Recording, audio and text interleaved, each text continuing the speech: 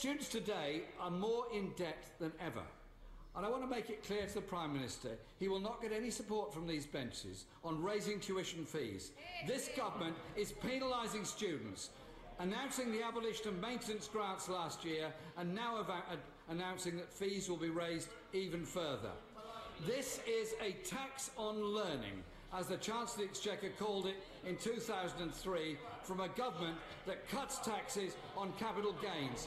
What message does that send about the economy they want to create?